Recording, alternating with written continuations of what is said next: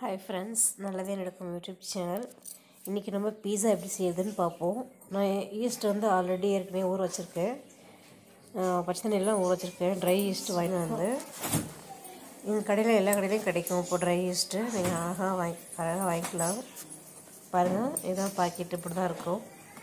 நீங்கள் வாங்கிட்டு வந்து எவ்வளோ வேணுமோ அந்த அளவுக்கு நம்ம ஊற வச்சுருக்கலாம். நான் நூற்றம்பது கிராம் மைதாவுக்கு தான் எடுத்து வச்சுருக்கேன். இப்போ பாருங்கள் நல்லா மேலே உப்பி வந்திருக்கு அந்த ஈஸ்ட்டை பார்த்தீங்களா? இப்போ நான் அதை ஊற்றி மாவில் பிசைகிறேன் நல்லா பிசைஞ்சு எடுத்துக்கலாம். பிசைஞ்சிட்டு ஒரு ஆஃப் அன் ஹவர் ஊற வச்சா போதும். ரெடி ஆகிடும் மாவு. இதே மாதிரி ஈஸ்ட்டு கூட நீங்கள் ஒரு ஃபைவ் மினிட்ஸ்க்கு முன்னாடி ஊற வச்சாலே போதும். ரெடி ஆகிடும் பச்சை தண்ணிலே ஊற வைங்க. ஒன்றும் பிரச்சனை இல்லை. நல்லா உப்பி வந்துடுது. இப்போ இதை ஒரு ஆஃப் அன் ஹவர் முடி போட்டு முடி வச்சிடலாம். ஆல்ரெடி நான் ஏற்கனவே எடுத்து வச்ச மாவை இப்போ நம்ம ரெடி பண்ணிக்கலாம் பீஸாவுக்கு. பட் இந்த மாவை நான் ரெடி பண்ணி காட்டுவேன் பீஸா. இப்போ பாருங்கள் இது பழைய மாவு நான் ரெடி பண்ணி வச்ச மாவு. இப்போ இதை மாவு போட்டு உருட்டிட்டு உங்களுக்கு நான் பிளேட்டில் வச்சு காட்டுறேன். ரொம்ப உருட்ட வேண்டாம் ஜஸ்ட் ஒரு மேலே அந்த மைதா கோட் பட்டாலே போதும். அதே தட்டில் வந்து நம்ம நார்மலாகவே கையை வச்சு ஸ்ப்ரெட் பண்ணாலே ஃபுல் ரவுண்டிங் ஆகிடும் இப்போ பக்கத்து வீட்டு பசங்க எங்கள் பசங்க ஒரே சேட்டை பண்ணின்னுக்கிறாங்க அதுலேயும் நான் பண்ணிகிட்ருக்கேன் அந்த வீடியோவை. ஒரு பிளேட்டில் ஆயில் தடவி அதில் வச்சுக்கோங்க. இந்த மைதா மாவை உருட்டி சும்மா லைட்டாக உருட்டி அது மேலே வச்சுக்கலாம். பார்த்தீங்களா? அதுமாதிரி ஃபுல்லாக இது பண்ணிக்கோங்க. இது மாதிரி பண்ணிவிட்டு சுற்றி சைடெல்லாம் கொஞ்சம் மோட்டாக இருக்கட்டும். சென்டரில் கொஞ்சம் மெரிசாக இருக்கட்டும். ஒரு ஸ்போக் ஸ்பூன் வச்சு அவங்க குத்தி விட்டுக்காங்க இப்போ பண்ணிவிட்டு ஸ்போக்ஸ் ஸ்பூன் வச்சு குத்தி விட்டுருக்காங்க. நான் குத்திட்ட பிறகு காட்டுறேன். ஏன்னா வீடியோ ஜாஸ்தியில் எடிட் பண்ண முடியல அதனால தான் இப்போ பாருங்கள் நல்லா பண்ணியாச்சு.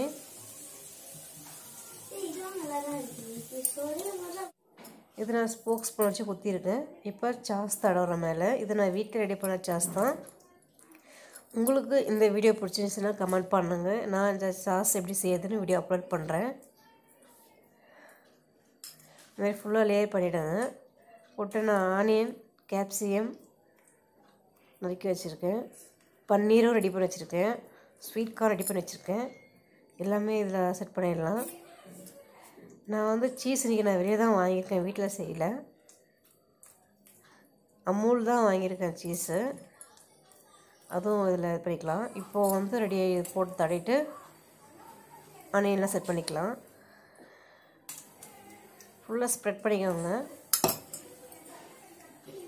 நான் சில்லி ஃப்ளேக்ஸு எல்லாமே இந்த சாஸ் ரெடி பண்ணி வச்சுருக்கேன். அதனால் நான் சில்லி ஃப்ளேக்ஸ் மேலே தூவலை. சாஸ்லேயே எல்லாம் போட்டதுனால நான் சில்லி ஃப்ளேக்ஸ் மேலே தூவலை. இப்போ பாருங்கள் எல்லாம் செட் பண்ணிவிட்டேன் ஆனியனு.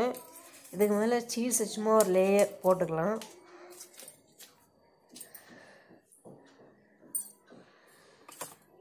இப்போ துருவி மேலே லேயர் போட்டுக்கலாம். லேயர் ஃபுல்லாக துருவி போட்டுட்டு கொஞ்சமாக போட்டுக்கலாம் இப்போதைக்கு. அதுக்கப்புறம் மேலே பன்னீர்லாம் வச்சுட்டு பன்னீர் ஸ்வீட் கார்ன் மேலே போட்டு அதுக்கப்புறம் ஃபுல்லாக துருவி விட்டுக்கலாம்.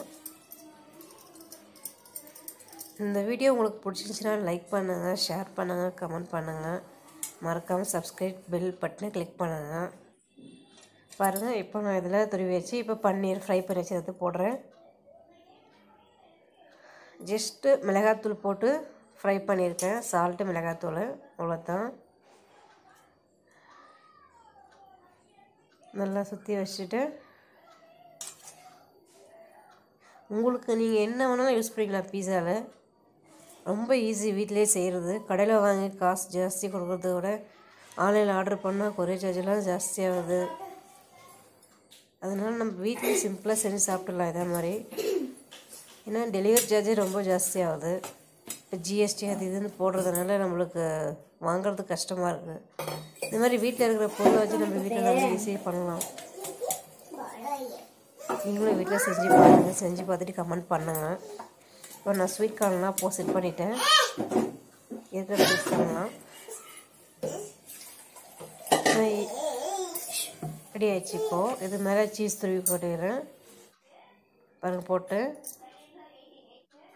இது நான் ஏற்கனவே டென் மினிட்ஸ் கேஸில் வச்சுருக்கிற சால்ட்டு போட்டு நான்ஸ்டிக் பேனில் பெரிய பேன் அது. இப்போ இது மாதிரி அந்த பீஸா பீஸை வச்சு ஒரு பிளேட் போட்டு முடிக்கலாம். ஜஸ்ட் ஒரு இருபது மினிட் இருபது மினிட் போதும். இருபது நிமிஷம் போதும். ரெடி ஆகிடும் பாருங்கள் இப்போ போட்ட பீஸா பன்னீர் பீஸா நான் ஏற்கனவே மாவு பிசைஞ்சு வச்சேன் இல்லையா? அந்த பீஸாவும் காட்டுறேன் பாருங்கள் வெறும் ஸ்வீட் கார்னும் ஆனியன் மட்டும் போட்டு பண்ணியிருக்கேன். ரெடி ஆயிடுச்சு.